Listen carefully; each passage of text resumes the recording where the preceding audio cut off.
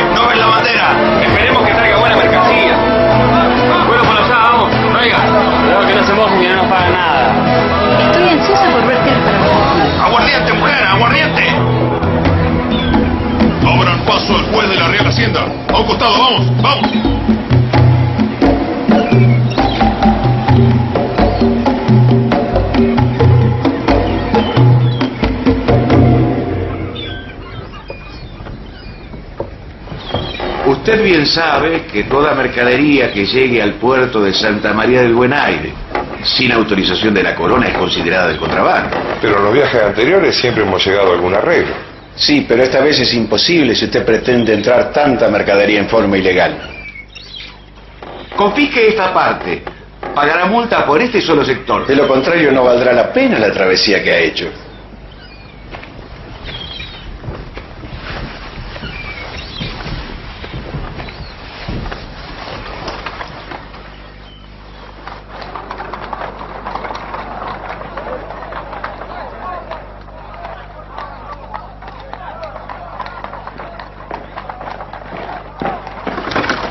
¡Vamos! ¡Arriba! ¡Están libres!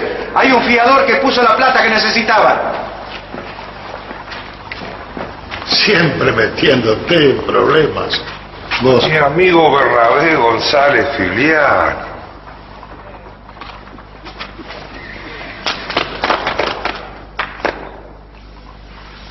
Otra vez salvándome el pellejo. ¿Y para qué están los amigos? Y los negocios también, ¿eh? Seguro que me traes algo que me puede interesar. Fue enseñado en la religión católica y bautizado con el nombre de Manuel. Está bien, llévamelo en la caravana y déjamelo en la estancia del río Luján. Ah, y pueden pasar la noche en la estancia. Hay un poco de leña seca para calentarse. Y créame, es un lugar seguro contra los indios, ¿eh? A ver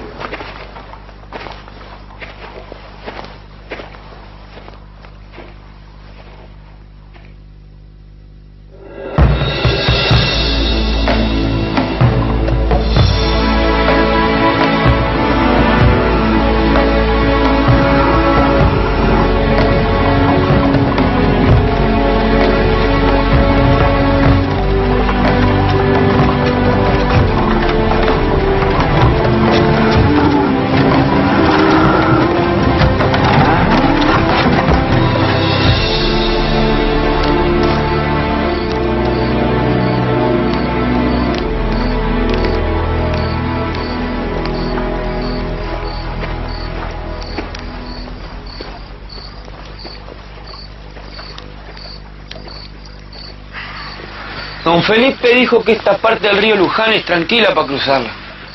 El río trae poca agua. Sí, pero el sol se puso tormentoso. Esperemos tener un buen tiempo mañana.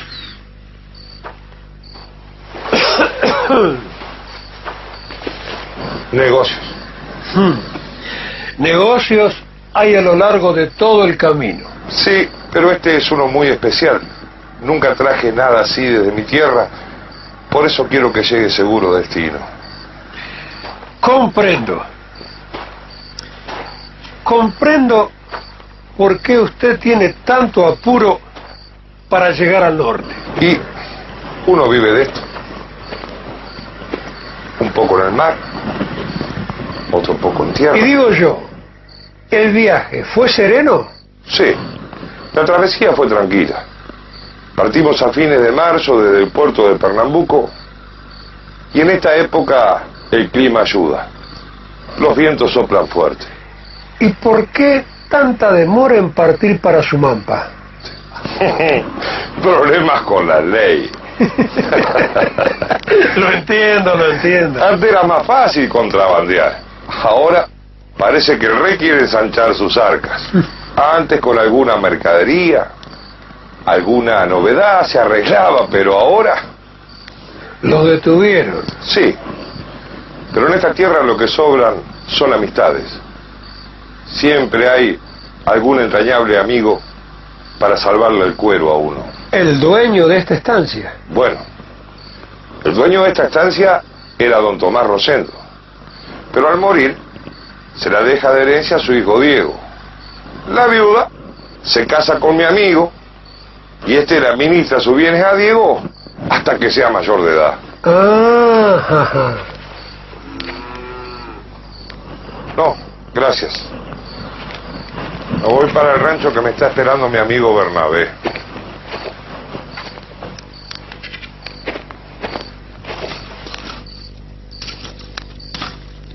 Bueno, que descanse, amigo. Sí, pero espero no toparme con ningún indio.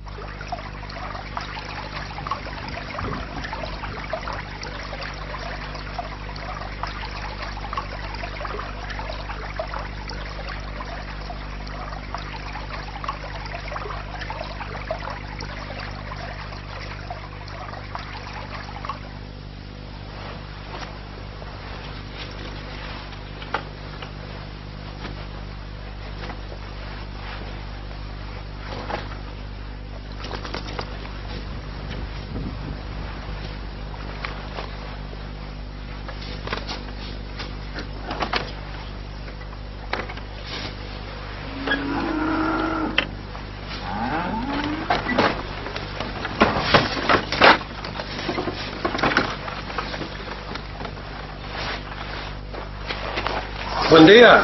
¿Cómo ha sido la noche? Serena nomás.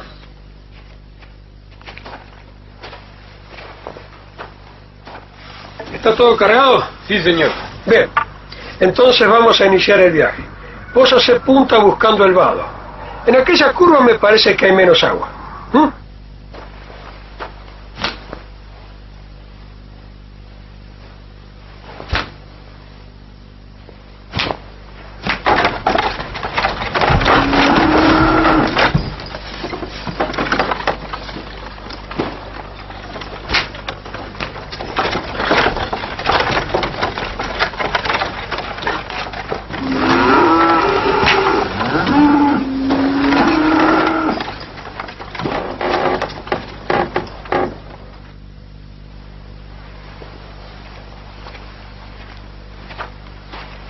Se quieren mover? ¿Cómo no se quiere mover? Eh, compañero, ¿qué pasa que no arranca? No, no se quieren mover, no sé qué pasa.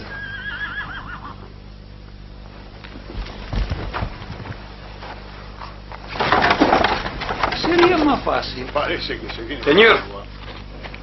¿Qué? Los bueyes no se quieren mover. ¿Y la carga? Es la misma que tenía ayer. ¿Seguro? Sí.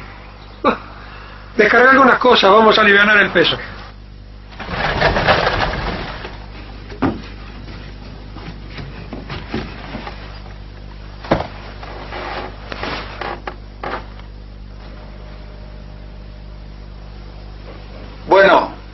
Intente una vez más. ¡Vamos!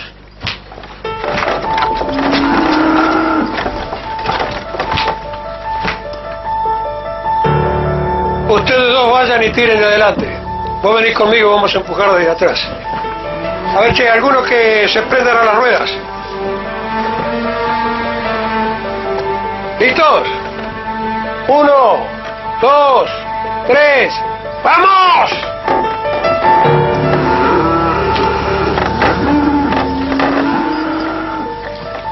Descárguenla del todo.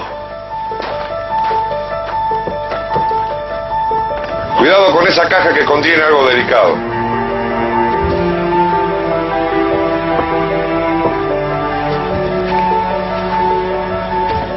Bueno, intentemos una vez más. ¡Vamos! Uno, dos, tres, ¡vamos!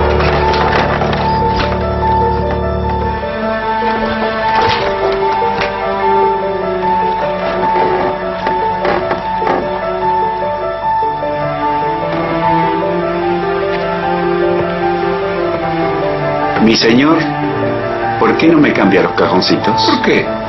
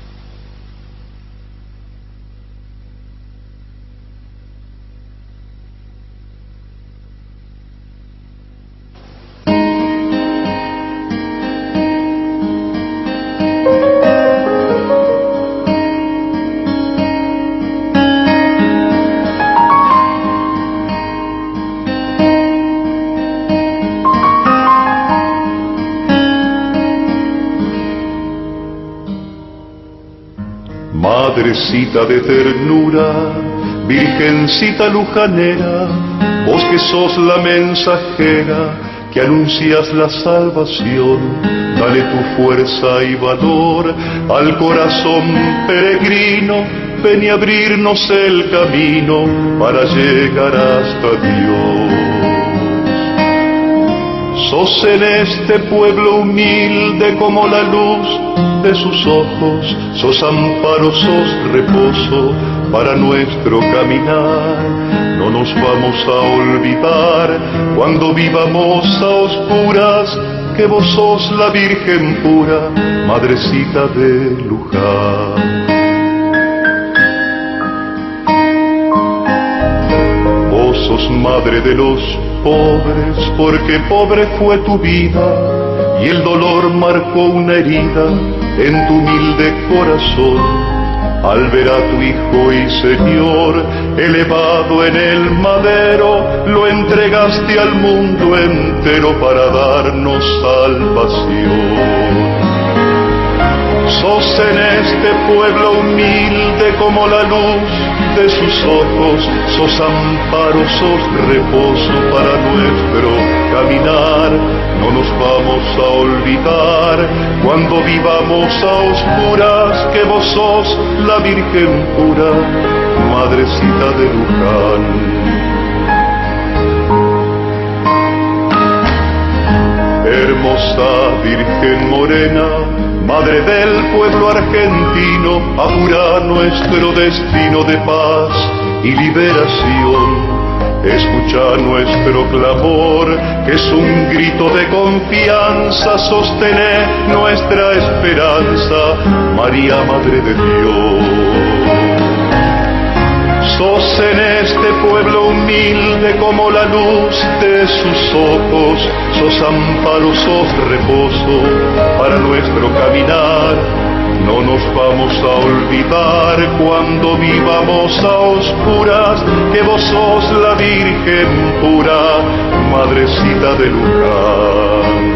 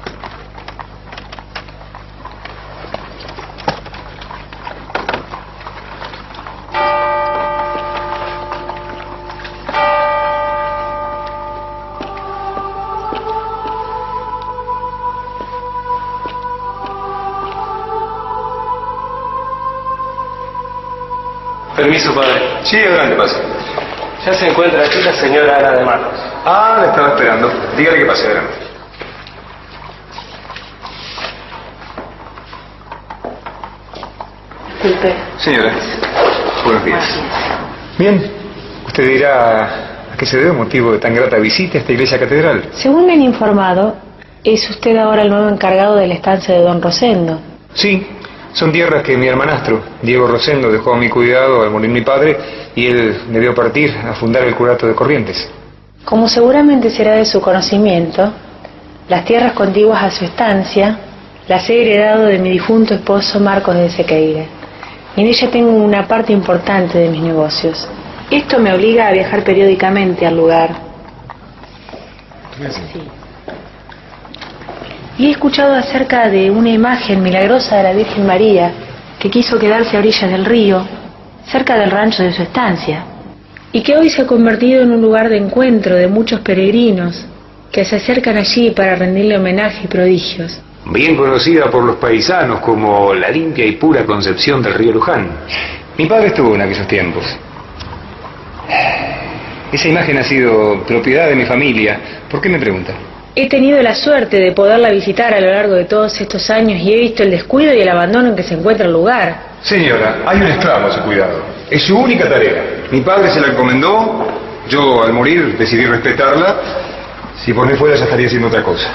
Mi intención es ayudar a los devotos. No todos son tan devotos como dicen. Muchos van solamente porque saben que allí hay un lugar donde pasar la noche, o pasar un tiempo. Hay fuego para calentarse y sobre todo vacas mansas para sacar carne. Disculpe. No se preocupe. ¿Me decía? Que realmente me preocupa mucho la santa imagen. Y creo firmemente que si usted me concediese la imagen, yo podría trasladarla a mi estancia, donde se pueda construir una capilla digna y pública, para que todos los peregrinos puedan venerarla. Usted sabe que el nuevo camino a Córdoba pasa por mi estancia. Esto es sumamente conveniente para aquellas personas que lo transitan. Además, se vería protegida de la profanación de algún infiel. Como ya le he dicho, esa imagen ha pertenecido a la familia durante muchos años. A no ser que... Podría agradecerle el gesto con una gratificación para su familia. ¿Qué le parecen 200 pesos? Veo que tiene usted muy buenas intenciones. La imagen es suya. Gracias, padre. En breve recibirá lo que acordamos. Hasta pronto. Que Dios la bendiga, señora. Puede ir a buscar la imagen cuando quiera.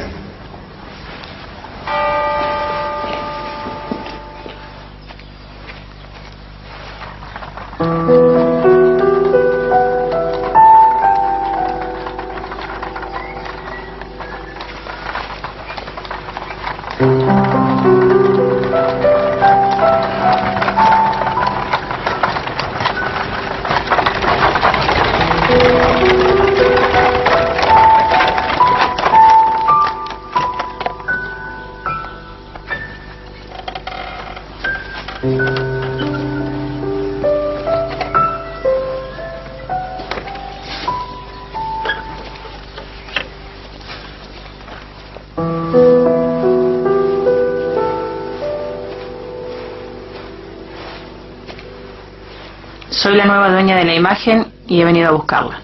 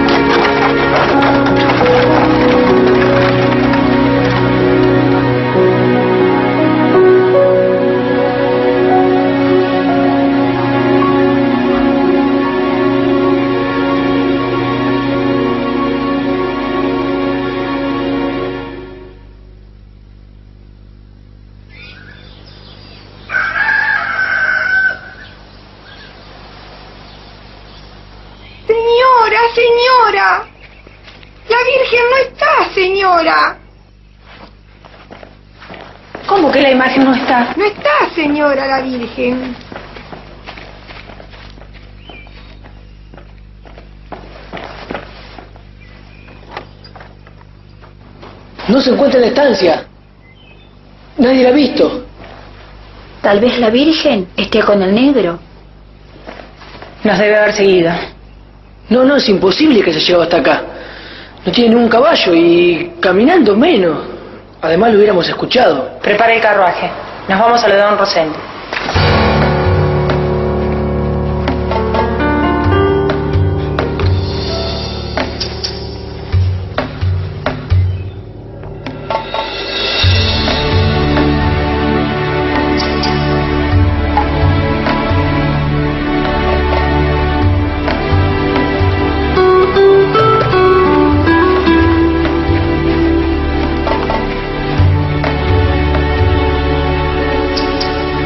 Madre mía.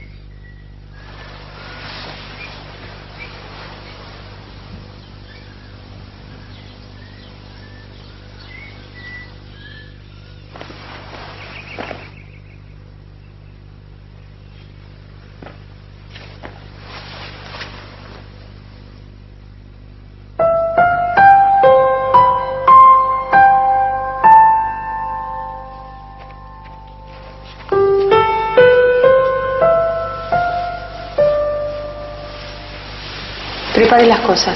Nos vamos a Buenos Aires.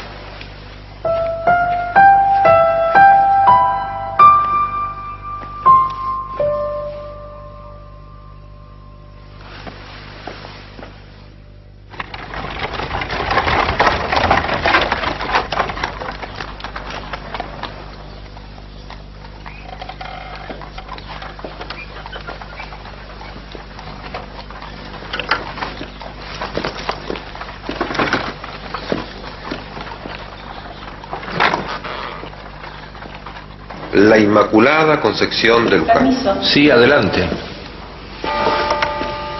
Monseñor. Mucho gusto, señor gobernador. El gusto es mío. Estaba poniendo al tanto al señor gobernador de lo que me ha comentado sobre la imagen y los acontecimientos milagrosos que han ocurrido desde cuando usted llevó la imagen a su estancia. Me pareció prudente pedir consejo y discernimiento sobre lo que ha sucedido. Ha hecho bien. La Virgen María, como Madre de Dios, siempre ha manifestado su presencia y su cuidado para con sus hijos. La pregunta aquí sería, ¿qué hacer ante los acontecimientos? Por eso nos parece que la Virgen debe estar queriendo un traslado solemne o una gran procesión donde puedan participar todos los que deseen.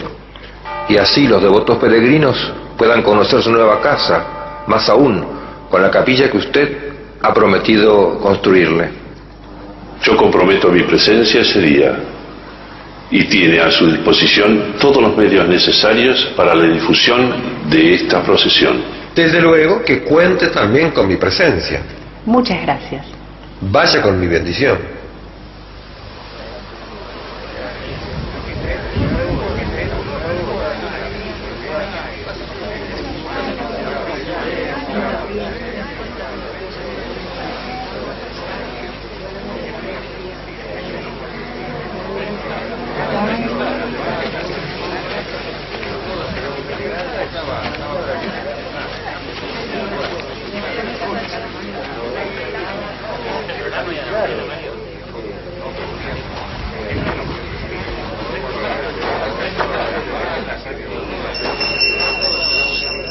Bueno, hoy es un día de fiesta para toda la iglesia, porque nos encontramos aquí reunidos para trasladar esta imagen a unas tierras vecinas, donde una piadosa señora ha querido construirle una capilla más confortable para que los peregrinos y necesitados puedan acudir a ella.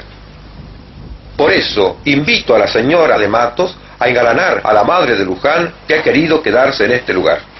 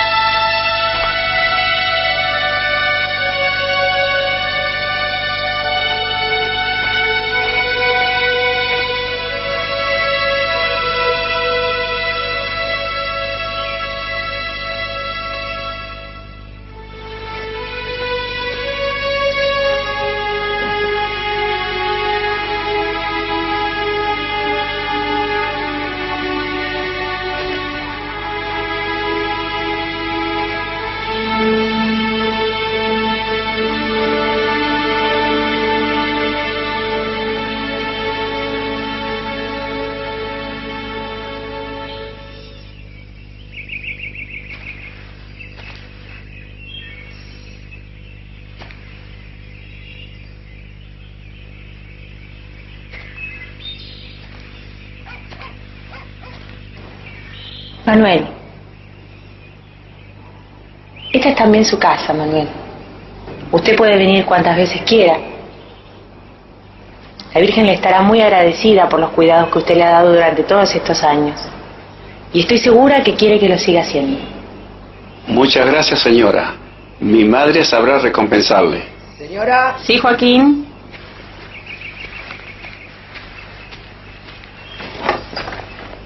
Joaquín, siéntese, por favor. Manuel. Pase, Manuel. Les pedí que vinieran porque necesito cumplir una promesa que le hice a la Virgen el día de su traslado a la estancia. Construir una capilla para que todos la puedan venerar. Por eso mandé a dibujar estos planos a Buenos Aires. Tome, Manuel.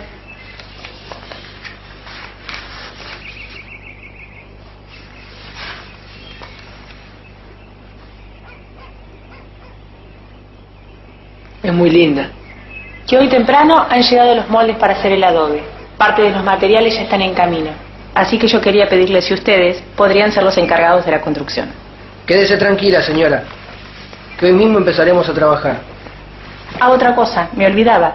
Quisiera que se construyera cerca de la casa, en dirección a la ventana del oratorio. Así la Virgen puede ver cómo avanzan las obras. Permiso. Permiso.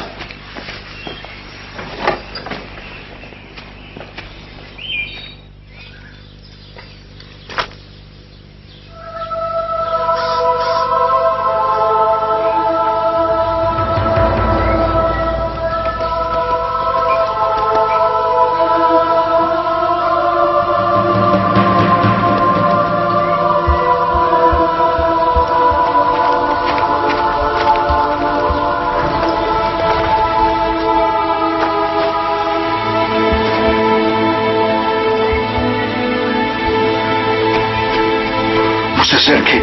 Tengo una enfermedad muy contagiosa. ¿Dónde está? La Virgen. ¿Dónde está? Estoy muriendo. Este es mi último deseo aquí en la tierra.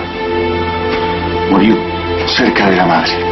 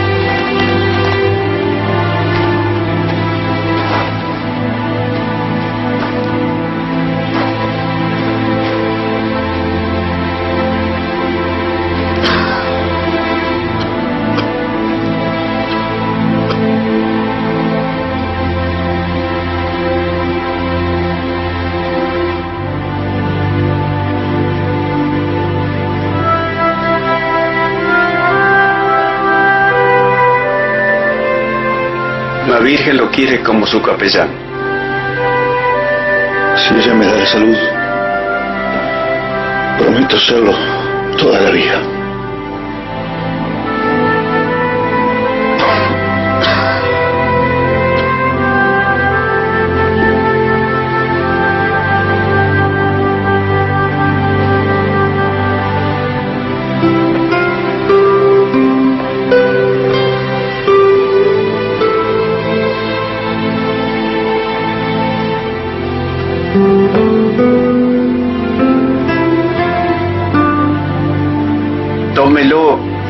De la Santísima Virgen.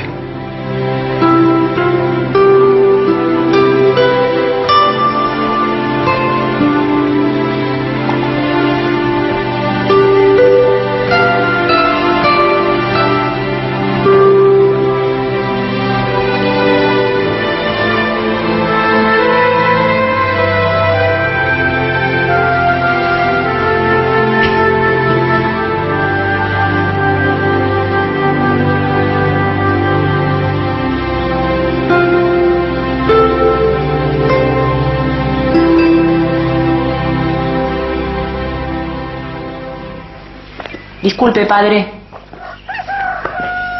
Buenos días. Déjelo por la mesa, por favor. Se lo ve mucho mejor hoy. Gracias a Dios, me siento bastante mejor.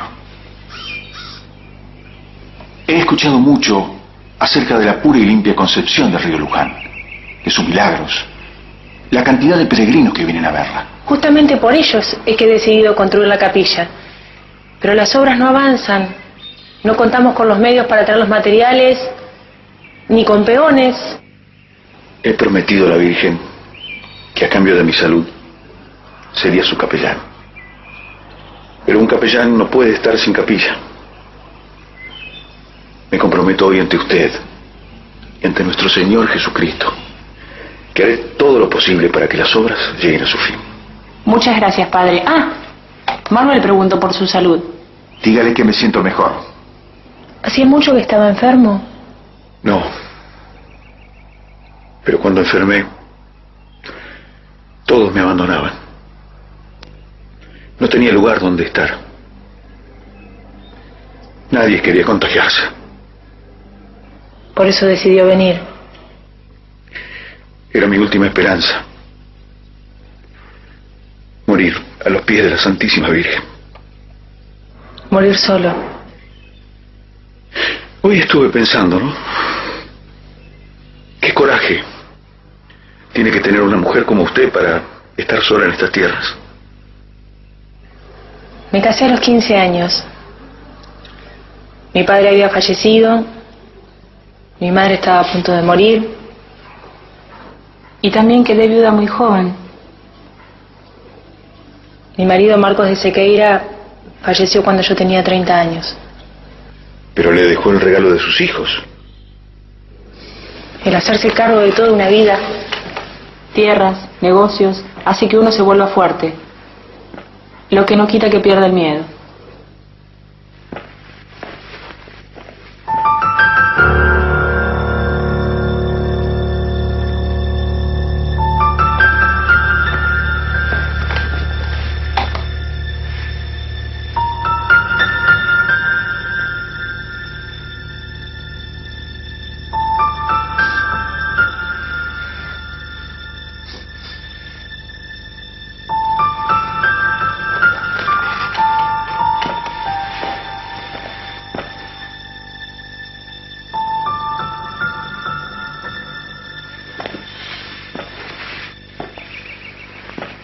Por haberme retirado de ese modo. ¿La ofendí con alguna pregunta? Con mi marido Marcos no pudimos tener hijos. A los dos años de enviudar, en una fiesta conocí a Tomás Rojas de Acevedo, un joven 11 años menor que yo.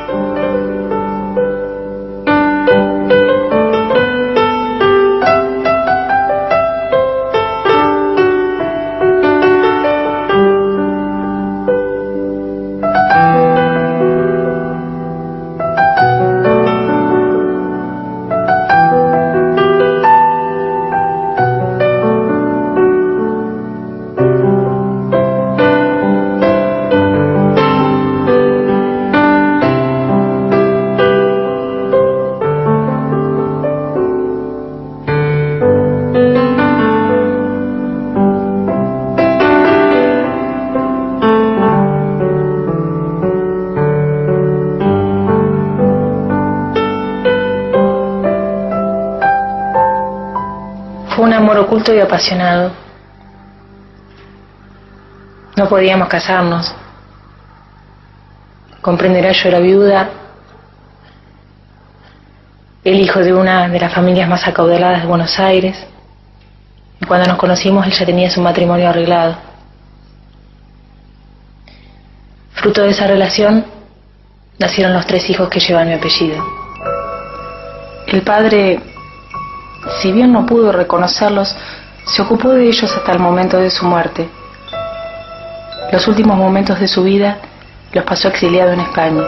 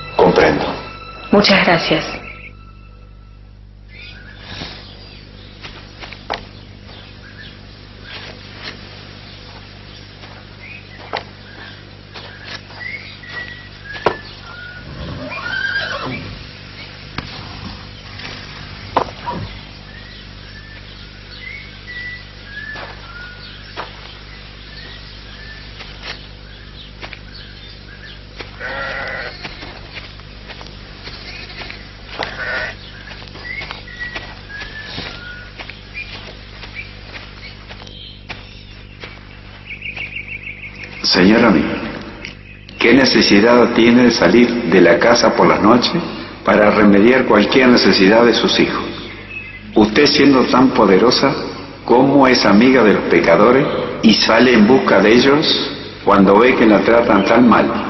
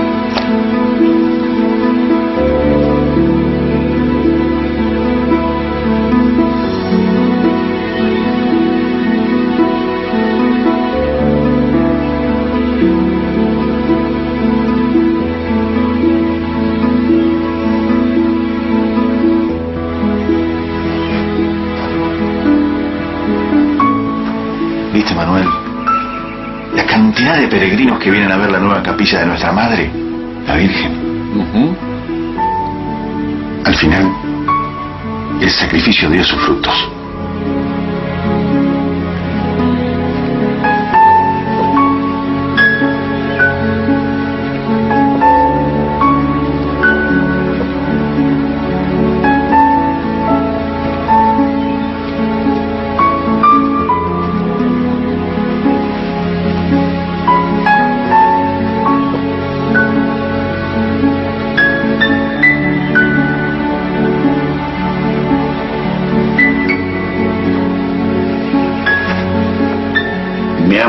Santísima Virgen me reveló que voy a morir un viernes y el sábado siguiente me llevará con ella a la gloria.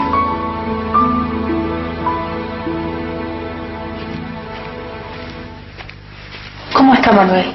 Empeorando. Pídale al padre Montalvo que le administre los sacramentos y a Joaquín que traiga la imagen de la capilla.